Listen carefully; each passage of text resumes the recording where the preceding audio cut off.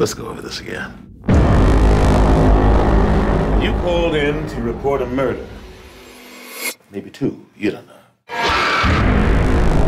And you say that all these murders were performed by the same guy, this, uh, Smiley, who wears a mask. Did we just kill somebody? Did I just kill somebody? I don't know. You called Smiley and he came. Something's been awakened, like something's been born.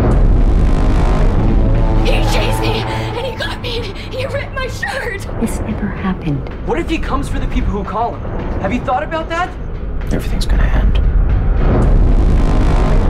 I just want to stop. Stop trying to find out what it is. You're bringing it to us. Are you on the wrong end of some kind of prank? Smiley's trying to kill me.